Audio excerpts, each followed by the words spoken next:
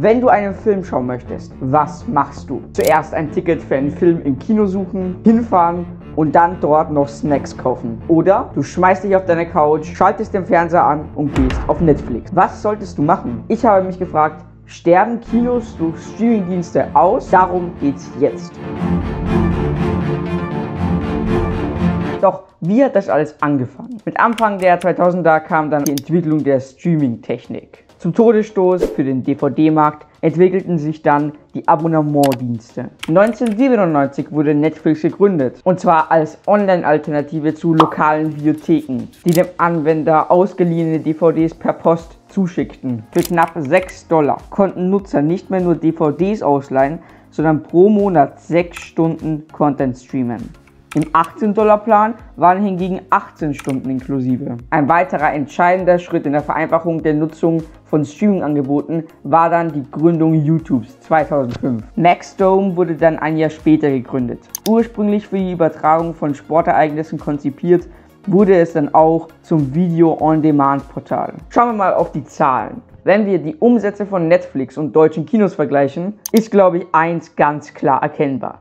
Netflix hat eindeutig um einiges mehr Geld gemacht als die Kinobranche.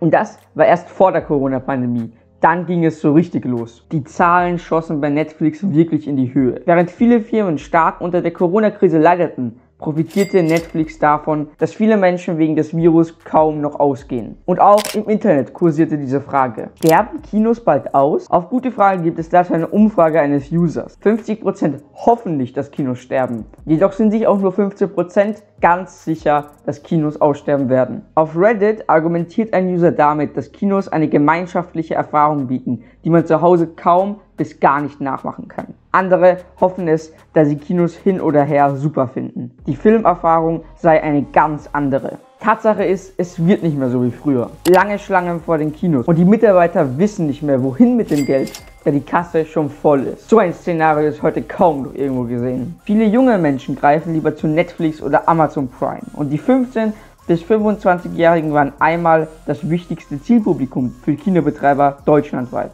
Doch wollen wir es uns zuerst rein geldtechnisch anschauen. Und dafür bin ich ins Hollywood Megaplex gefahren.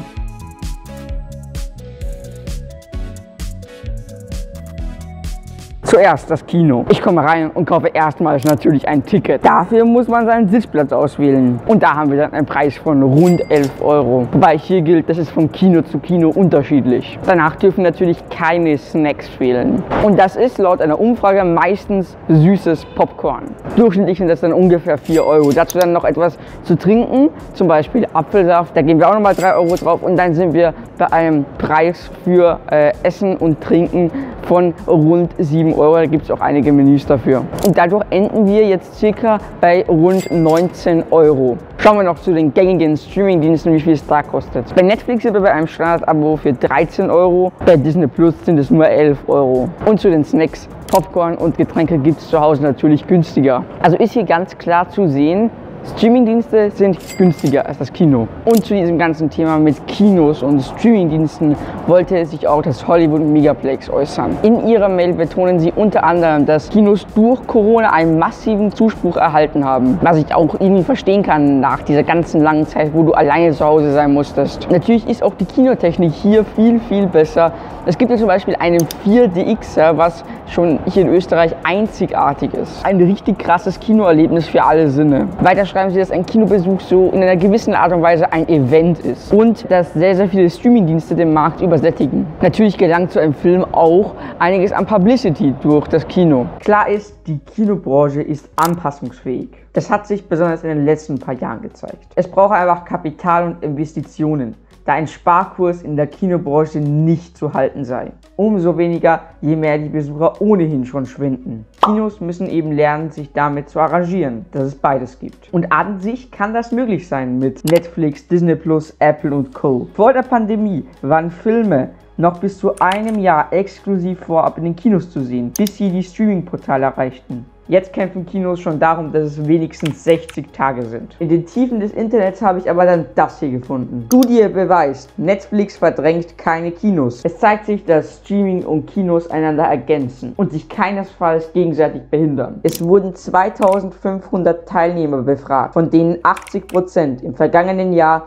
mindestens einen Film im Kino angeschaut hatten. Das Ergebnis? Diejenigen, die in den letzten zwölf Monaten neunmal oder häufiger ins Kino gegangen sind, nutzten auch häufiger Streamingdienste als Personen, die nur ein- oder zweimal ins Kino gegangen sind. Im Durchschnitt streamten Kinogänger, die neun oder mehr Filme im Jahr sehen, elf Stunden pro Woche. Dagegen nutzen Menschen, die selten ins Kino gehen, Streamingdienste nur etwa sieben Stunden pro Woche. Fast die Hälfte der Menschen, die angaben, in den letzten zwölf Monaten keinen Kinobesuch zu haben, streamten auch keine Online-Inhalte. Nur 18% derjenigen, die Kinos mieden, streamten Online-Inhalte für acht oder mehr Stunden pro Woche. Auch das Argument, Teenager würden nur noch Online-Filme schauen, können die Forscher entkräftigen. Die befragten Teenager im Alter von 13 bis 17 Jahren sahen durchschnittlich 7,3 Filme im Kino, verbrachten allerdings mit 9,2 Stunden pro Woche auch die meiste Zeit mit Streaming-Angeboten als alle anderen Altersgruppen. Die Botschaft ist, dass es keinen Krieg zwischen Streaming-Angeboten und Kino gibt, erklärte Phil Contrino, Direktor für Medien und Forschung der National Association of Theater Owners. Menschen, die Beweginhalte lieben, schauen plattformübergreifend, wobei jede Plattform für sich ihren Platz in den Köpfen der Verbraucher hat. Laut Branchenkenner sind die Filmstudios wegen der hohen Kosten bei Produktion und Marketing nach wie vor massiv von den Ticketverkäufen an der Kinokasse abhängig. Auch Branchenriesen wie Amazon und Apple erkennen das mittlerweile an und wollen ihre großen Produktionen künftig nicht mehr nur online vermarkten. Was können wir also sagen? Ja, es mag sein, dass immer weniger Leute ins Kino kommen. Jedoch ist dieser Prozess sehr langsam und auch Studien zeigen, die meisten konsumieren sowohl Streamingdienste als auch das lokale Kinoangebot vor Ort. Für die meisten haben Kinos halt einfach diese Nostalgie von früher. Das war's von mir. Lasst gerne ein Abo da. Hier geht's zu einem weiteren Video und ich bin damit raus.